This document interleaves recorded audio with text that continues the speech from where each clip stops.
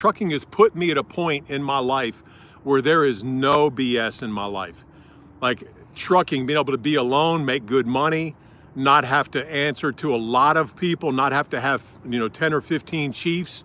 My life can be exactly what I want it to be.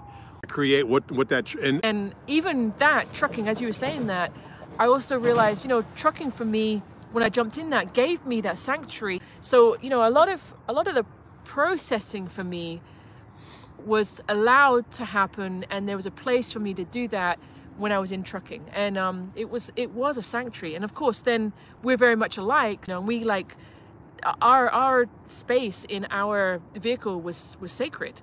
It was like our place that was our space our sanctuary and our uh, like us it was sacred to us you know let me tell you what it means to me to be no fraud. No fraud. Zero fraud